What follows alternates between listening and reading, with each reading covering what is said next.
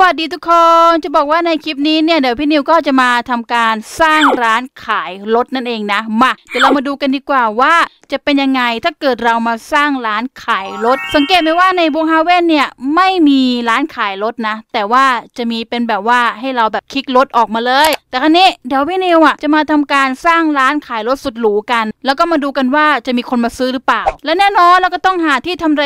ซึ่งจะบอกว่าที่ทำเลที่ดีที่สุดในบูฮาเว่นนั้น ความจริงแล้วมันก็ไม่มีหรอกอยู่ที่ว่าเราจะสร้างตรงไหนแค่นั้นแหละ อันนี้พี่นิวก็เลือกสร้างตรงบ้านหลังที่ 12 แล้วกันเนาะแต่ว่าในครั้งนี้จะขอเอาเป็นเป็นบ้านแบบนี้ละกันนะ ซึ่งมันเป็นบ้านที่แบบว่าสำหรับขนส่งพัสดุขอปรับให้เป็นแบบสีขาวล้วนละกันนะทุกคนนะนี่ให้แบบว่าตรงหลังคาเนี่ยมันเป็นสีขาวล้วน แล้วเราก็ทำการเปิดนี่เลย เปิดโชว์รูมรถเราแบบนี้ เริ่มทำการสร้างกันเลยแล้วแน่นอนเราก็ต้องมีผู้ช่วย ผู้ช่วยเรามาอีกแล้วจำได้ไหมที่พี่นิวสร้างเซเว่นเนี่ยแล้วก็มีผู้ช่วย อันดับแรกเลยนะ เดี๋ยวพี่นิวแบบว่าขอทำเหมือนเป็นเหมือนที่กั้นรถน่ะ แบบเป็นที่กั้นรถให้แบบว่ารถเข้าไปจอดอะไรอย่างงี้ ก็ทำการตั้งแบบนี้ทุกคน เหมือนกับว่าตรงเนี้ยเป็นเป็นเหมือนที่จอดรถหรูอะไรอย่างงี้ เดี๋ยวเราเริ่มทำการเอารถหรูเนี่ยออกมาดีกว่าออกมาจอดขายดีกว่าทุกคนนี่พี่นิวก็เอารถหรูแบบนี้ออกมาจอดขายนะซึ่งจะบอกว่ารถหรูคันแรกของเราคือ Lamborghini นั่นเองมา จะบอกว่ารถหรูเนี่ยมันจะอยู่ตรงคอกตรงนี้อ่าฟึบฟึบฟึบแล้วก็ทำการแบบว่านะแต่จะบอกว่าตอนที่เราจอดเนี่ยเราก็ต้องทำการล็อกรถด้วย ถ้าเกิดเราไม่ล็อกรถเนี่ยรับรองว่ารถมันจะหายแน่นอนขอเป็นคันสีขาวสุดหรูแล้วกันนะ แล้วรถหรูคันต่อไป คือรถหรูคันนี้ ซึ่งเป็นรถแข่งเราก็ทำการเอาเข้าไปจอดแบบนี้ฟืบฟืบอ่าโอเค ก็จอดให้มันตรงๆสวยๆอ่าเรียบร้อยคันนี้ขอเป็นสีแดงก็แล้วกันนะคันนี้เป็นสีแดงนี่คือรถหรูของเรา แล้วตอนนี้เราก็ทำการแบบว่าเอารถมาจอดตรงหน้าร้านแบบนี้เราเสร็จแล้วนะ แล้วต่อไปเราก็มาทำการตั้งชื่อร้านกัน ซึ่งพี่นิวตั้งชื่อว่าเอวาคาฟนั่นเองนะแล้วต่อไปเราก็ตกแต่งโดยการที่แบบว่าเอาพ็อปที่มันเกี่ยวกับรถน่ะเออมาวางแบบนี้นะซึ่งพี่นิวก็ไม่รู้เหมือนกันว่าไอ้เจ้าสิ่งนี้มันเรียกว่าอะไร ถ้าเกิดใครรู้ก็คอมเมนต์บอกได้นะทุกคนนะเนี่ยเนี่ย air compressor อะไรเนี่ยแล้วก็มาทำการตกแต่งกันต่อให้มันแบบสวยๆนะทุกคนนะพี่นิวก็แบบว่าประดับฟงประดับไฟที่มันเป็นเหมือนดวงดาวเข้าไปอย่างนี้เพื่อที่ว่าร้านเราเนี่ยมันจะได้ดูสวยแล้วก็แบบว่าน่าเข้านั่นเองนะ ตอนนี้ก็เป็นเวลาเช้าแล้ว เราสร้างกันทั้งวันทั้งคืนเลย แต่ว่าก็ยังไม่มีลูกค้ามาเลยทุกคนอย่าบอกนะว่าพอเรามาสร้างร้านขายรถแล้วเนี่ยมันจะขายไม่ดีนะทุกคนอาจจะจะเป็นเพราะว่ารถมันมีมูลค่าสูงนะอ่าเริ่มมีลูกค้ามามองอ้าวลูกค้ามีรถแล้ว ลูกค้า ลูกค้าสนใจรถหรูไหมคะ ลูกค้าถูกๆนะคะขายถูกๆมากเลยค่ะ ลูกค้า ก็เลยบอกลูกค้าไปว่าเออลูกค้าลูกค้าเดี๋ยวจะเย็นลูกค้าลูกค้าจะขับรถเข้ามาในร้านเราไม่ได้นะรถหรูจอดอยู่เต็มไปหมดเลย ต่อไปเรามาแบบว่าตั้งป้ายราคาดีกว่า จะบอกว่ารถแต่ละคันเนี่ยมันก็ต้องมีราคาบอกใช่ไหมว่ารถคันนี้ราคาเท่าไหร่เราก็มาทำการแบบว่าตั้งป้ายราคาขายตรงนี้ บอกเลยนะว่ารถร้านเราเนี่ยคือแบบว่าขายไม่แพงขายถูกๆเดี๋ยวเรามาเริ่มทำการแบบว่าตั้งราคากันก่อนนะ อย่างรถคันนี้เป็นลัมโบสุดหรู คันนี้ต้องแพงที่สุดอยู่แล้ว ประมาณห้าพันห้าพันเท่านั้นนี่ห้าพัน อันนี้คือแพงสุดนะ5,000อะไร5,000บาท3,000นนะราคาก็ถูกลงมาหน่อย ส่วนคันนี้ก็เป็นรถหรูเหมือนกันแต่ว่าไม่เท่าลัมโบ ก็ประมาณ 2,500แล้วกันเนาะสำหรับรถธรรมดานะ อุ้ยมีลูกค้ามาแล้วลูกค้าคะสนใจซื้อรถไหมคะเนี่ยเรากำลังแบบว่าเพิ่งเริ่มทำการขายเลยนะคะเนี่ยโอ้มีลูกค้ามาเพียบเลยสนใจไหมคะเออถ้าเกิดสนใจแล้วก็ต้องจ่ายเงินมาก่อนนะคะคุณเบคอน คุณเบคอนคุณเป็นตำรวจไม่ใช่เหรอ คุณจะกระโจนเข้าไปในรถแบบนั้นไม่ได้นะ เป็นตำรวจจะมาขโมยรถหรือยังไง คุณต้องจ่ายมาก่อน5,000นะคะ แล้วคุณเบคอนก็เอาตังออกมา โอ้โห คุณเบคอน คุณรวยไม่ใช่เล่นเลยเนี่ย คุณอยากลองขับรถลัมโบใช่ไหมคะเนี่ย ถ้าเกิดเขายังไม่ยื่นให้เราเนี่ย เราก็จะยังไม่รถเขาไป อู้เขายื่นตังให้เราแล้วทุกคน เขายื่นตังให้เราแล้ว โอ้โห รวยเลยทีเดียวนะ เออแป๊บนึงกับคุณเบคอน เดี๋ยวปลดรถล็อกให้นะคะ อะแล้วก็ทำการปลดรถล็อกให้ อะเขาซื้อไปแล้ว ไป ขับไปเลยค่ะ อะปลดล็อกกันนี่เดี๋ยว ขับสิคะคุณเบคอน ก็เลยบอกเขาไปว่า go go go go ไปสิคะ ไปสิอ้าวไม่ไปหรอปลดล็อกให้แล้วไปเลย go go ไปเลย let's go เพราะว่าเบคอนเนี่ยได้จ่ายเงินมาให้เราแล้วนะห้าพันเอาไม่ไม่ขับแล้วหรอ เราก็ปลดล็อกรถให้แล้วนะ เอาคุณเบคอน คุณเบคอน กรรมการอ้าวอะไรอะเฮ้ยแต่ว่าเราก็ปลดล็อกรถให้แล้วนี่ สนใจรถคันไหนคะอ้ามีลูกค้ามาใหม่อีกแล้วอ้าวสวัสดีค่ะลูกค้าสวัสดีค่ะ สนใจรถคันไหนคะรู้สึกว่าลูกค้าคนนี้ขับไปแล้ว แต่ยังไม่จ่ายตังค์ลูกค้า ลูกค้ากรรมกรลูกค้ายังไม่จ่ายตังค์เลยเอารถเราคืนมาก่อนนะ เพราะว่าลูกค้าเนี่ยลูกค้ายังไม่ได้จ่ายตังค์ไงถ้าเกิดลูกค้าจ่ายตังค์แล้วเนี่ยเราก็จะให้ไงเพียงแต่ว่าลูกค้ายังไม่จ่ายตังค์เฮ้ยตำรวจมาเฮ้ยใจเย็นตำรวจ นี่มันตำรวจที่มาซื้อลัมโบเราคนแรกนี่ว่าจำได้เนี่ยเอาเฮ้ยเดี๋ยวคืออะไร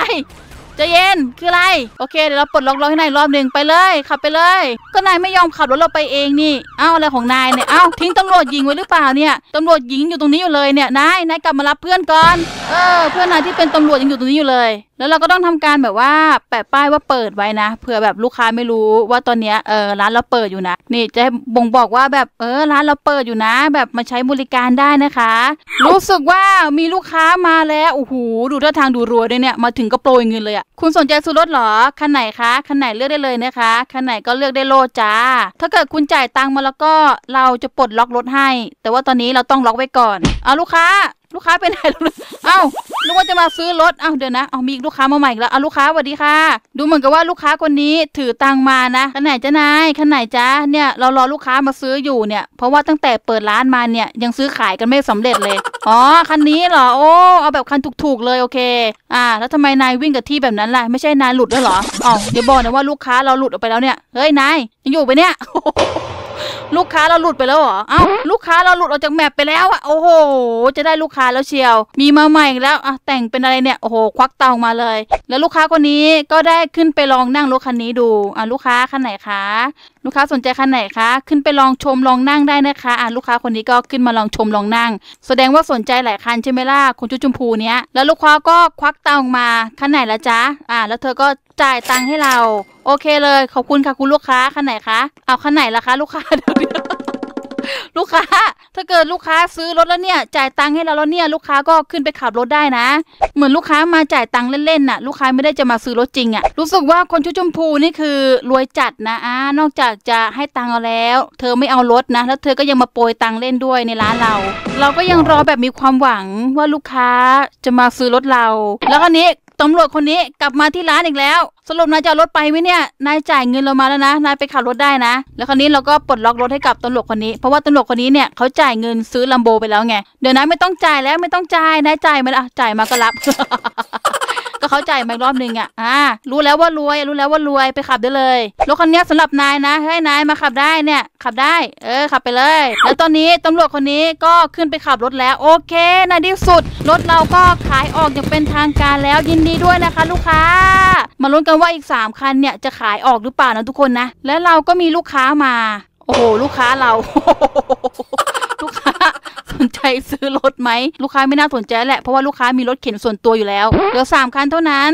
อ้าวดูเหมือนว่าคุณผู้หญิงคนนี้ควักเงินออกมาแล้ว ยังไงคุณผู้หญิง แล้วคุณผู้หญิงก็ส่งตังค์ให้เรา อ๋อสรุปว่าคุณผู้หญิงเอาคันนี้ใช่ไหมเอาคันสีฟ้าเอาไปแล้วไปอย่างว่องเลย แล้วคุณผู้หญิงก็จ่ายตังค์อีกรอบหนึ่งอ้าวทำไมอะ จ่ายสองรอบไปเหรอ โอ้โห รวยจัดนะลูกค้าเราแต่ละคนคือแบบว่ารวยจัดนะขอบคุณนะคะ ลูกค้า ขอให้ขับรถโดยสวัสดิภาพนะคะ ขอบคุณมาก ๆสำหรับการจ่ายเงินสองรอบ ยังจะมีรอบที่สามอีกเหรอ ขอบคุณลูกค้าขอบคุณค่ะ ไม่ต้องแล้วค่ะ ไม่ต้องแล้วค่ะรอบที่สี่ไม่ต้องนะคะ ไปไปขับรถอะแล้วลูกค้าก็ขับรถคันนี้ออกไป แล้วคันนี้รถเราก็ขายออกไปแล้วสองคันนั่นมันรถลูกค้านี่ว่าคืออะไรอะโอ้ลูกค้าโอ้โหลูกค้าขับซะซิ่งเลยโอ้โหแล้วคันนี้ลูกค้าที่เป็นตำรวจนะที่เขาซื้อรถคันแรกเราไปเนี่ยเขาขับกลับมาที่ร้านเราด้วย